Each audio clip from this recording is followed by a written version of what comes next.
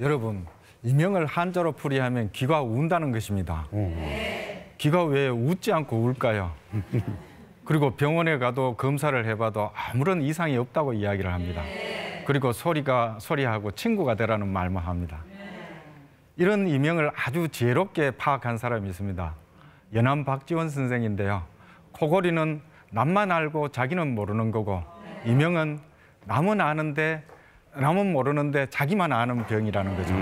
그만큼 이명이 자기만의 극심한 고통이라는 것을 그렇게 정확하게 표현하신 거죠. 어, 사실 그 조선시대 어, 왕들도 이 병을 많이 알았는데요. 어, 실록이라든지 아니면 승정원 일기를 통해서 이 기록들이 많이 나옵니다. 아, 특히 알았던 분이 선조 임금인데요. 예, 선조 임금은 어, 본인이 이제 사실은 왕이 되기 거의 힘들었던 분이죠. 꿈에서조차 왕이 되기 힘들었는데 명종이 갑자기 후계자를 지명하지 못하고 돌아가셨습니다. 그러니까 중종의 왕비도 아니고 빈의 손자인 선조가 갑자기 지명이 됐습니다. 그러다 보니까 어, 밑에 있는 신하들이 옹립해서 지명을 하다 보니까 본인이 아, 신하들한테 압도하지도 못하고 신하들한테 여러 가지 간섭을 받게 됩니다. 그래서 생기는 병이 바로 소화불량이었습니다. 소화불량이었지만 그걸 고치기도 전에 또 더 큰 일이 벌어집니다. 뭐냐면 임진왜란입니다. 어, 임진왜란이 일어나- 일어나자 갑자기 이제 드디어 이제 선조가 병이 생기는데 이명이 생겼죠. 그 이명의 소리가 아주 어, 컸습니다. 그래서 뭐라고 이야기하냐면 왼쪽 귀가 심하게 울리고 들리지도 않으므로 침을 맞지 않으면 낫지 않을 듯하다. 이렇게 이야기합니다. 그런데 그 이후에도 이 이명에 대한 선조의 기록들은 많이 있습니다. 또 한 분이 있는데 누구냐 하면 바로 인조 임금입니다. 똑같이 전쟁을 치르셨던 분이죠.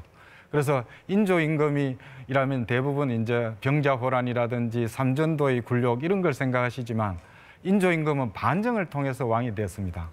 반정이라는 것은 정통성이 별로 없다는 거죠. 광해군을 쫓아내고 왕이 됐으니까요. 그래서 사람들이 어떻게 생각했냐면 야 인, 인조 스스로가 굉장히 자기 스스로가 불안했던 거죠.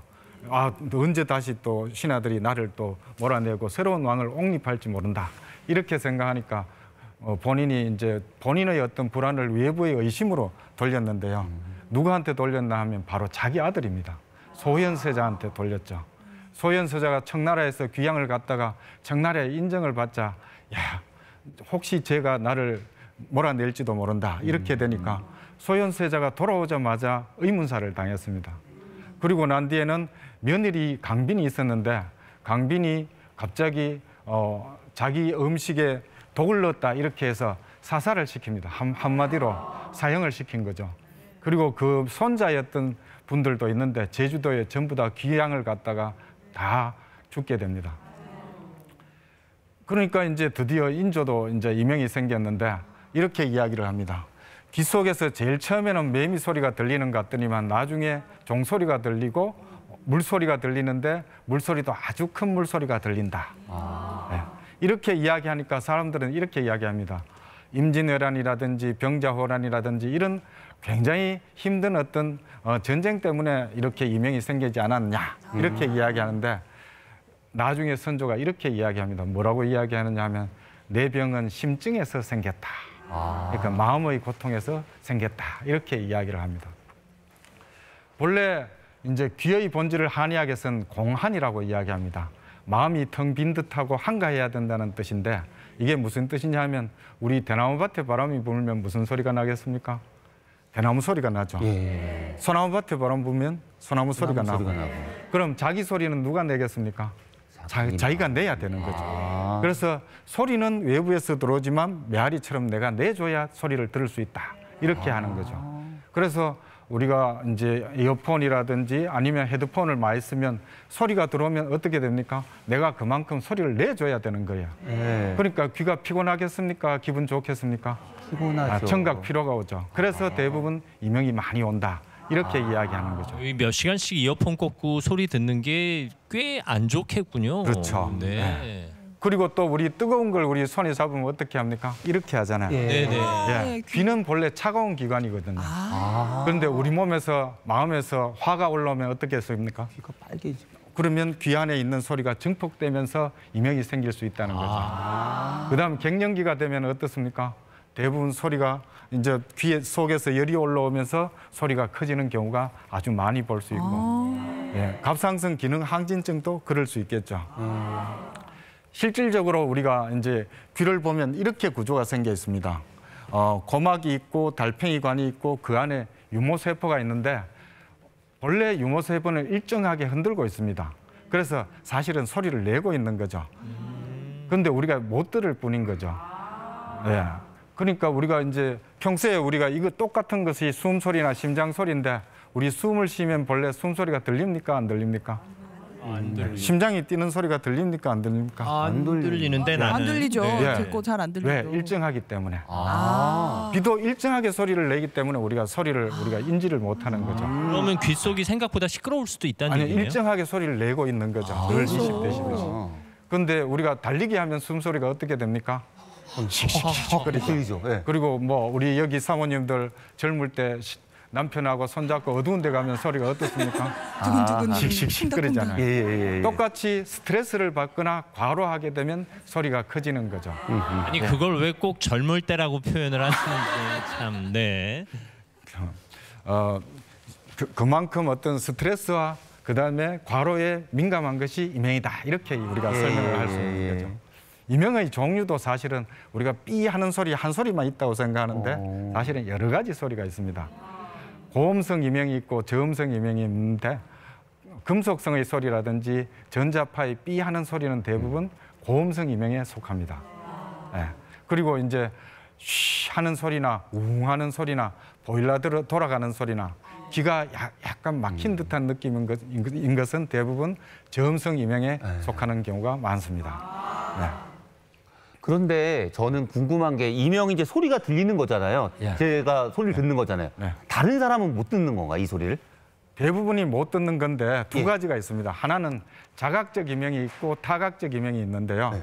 자각적 이명이라는 것은 자신에게만 들리고 남은 전혀 안 들리는 병인데 대부분 이제 노인성 난청으로 인한 이명이라든지 메르에르 병이라든지 아니면 돌발성 난청이라든지 뭐 아니면 큰 소리를 듣고 생기는 이명 같은 경우에는 대부분 자각적 이명 경우가 많죠. 그거는 이제 청 뭐 우리가 이제 소리를 아무리 증폭시켜도 잘 들리지 않는 경우가 대부분이고 타각적 이명도 있습니다. 옆에서 이제 소리를 들을 수 있는 이명도 있는데 오. 그거는 이제 심장이 두근거리는 소리라든지 혈액이 흐르는 소리라든지 아니면 딸깍딸깍 하는 소리라든지 이런 게 나타나는데 그건 세- 대부분 생명 유지의 소리가 많습니다. 그러니까 심장이라든지 혈액이라든지 이런 생명 유지의 소리가 나는 경우가 많고 그 외에도 이제 귀 속에 있는 어, 근육이라든지 목구멍에 있는 이제 청- 입천장 근육들이 이래 소리를 내는 경우도 있습니다. 그러면 자각적 이명도 일종의 환청이 아니라 실제로 소리가 나긴 나는 거예요? 당연하죠. 일정하게 소리를 내는데 우리가 이제 아까 이야기했듯이 우리가 숨소리도 평소에는 못 느끼잖아요. 그런데 우리가 스트레스를 받으면 숨소리 나듯이 들리는 귀는 일정한 소리가 있는데 단지 못 들을 뿐인 거죠. 아. 네. 기막힘의 치료를 위해서 어, 유명한 사람이 누가 있냐면 허임이라는 분이 있습니다. 허임. 예. 네, 허 그분이 예 누구냐 하면 바로 선조의 이명을 치료했던 분인데요. 어, 선조 같은 경우에는 이분만 나의 귀를 치료, 치료할 수 있다 이렇게 이야기를 합니다. 어, 선조는 이제 에, 그 이명을 주로 이제 허임하게 치료를 받았는데 허임의 경우에는 이제 보사법이라는 침법을 썼습니다. 뭐냐 하면 쉽게 이야기하면 풍선에 바람 넣듯이 그렇게 치료하는 건데 침을 찔러서 세 번 돌려서 안으로 넣으면 보법이고 빼내면 사법인데 귀의 경우에는 대부분 이게 이제 귀의 유모세포가 흥분해서 빨리 달리는 거기 때문에 허임은 사법을 주로 위주로 치료를 했습니다. 어, 그것 말고도 우리가 이제 약물로서도 치료를 하는데 이제 고약을 귀 뒤에 붙이는 경우가 많습니다. 아, 그 뒤에. 우리가 뭐 사향이라든지 웅담이라든지 아니면 웅- 그 용내를 넣는 경우가 많은데 사향이라는 것이 혼자 다니고 그다음 빼빼 말라 있고 그다음에 어, 부부간에 일년에한 번씩만 만나고 스스로 사향을 떨어뜨리기 때문에 수도자의 넋이라고 보거든요. 예, 예. 그래서 마음의 번뇌를 없앤다. 이런 이야기가 있기 때문에 오. 그래서 그걸 붙이면 이게 진정되는 경우가 많이 있습니다. 우리가 이 이명을 치료하기 위해서 어, 여러 가지 방법이 있지만 제일 중요한 것은 지금까지 이야기했듯이 마음을 잘 우리가 이제 어, 우리가 정화를 시키는 건데요. 사람들이 스트레스를 받으면 다 이렇게 이야기합니다. 마음을 내려라. 그 다음에 뭐 내면에서 그냥 사겨라 이렇게 이야기하는데 알라딘이 지니에게 이렇게 이야기합니다. 야, 네가 세상에 소원을 세 개씩 들어주는데 도대체 네 소원은 뭐냐?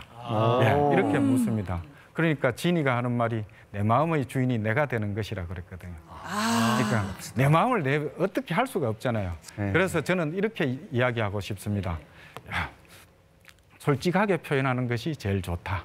음. 예, 감정을 속에 담아놓고 있으면 결국은 올라온다. 예, 화라는 게 대부분 이렇게 설명을 하기도 하거든요. 물 속에 풍선을 넣는 것하고 똑같다.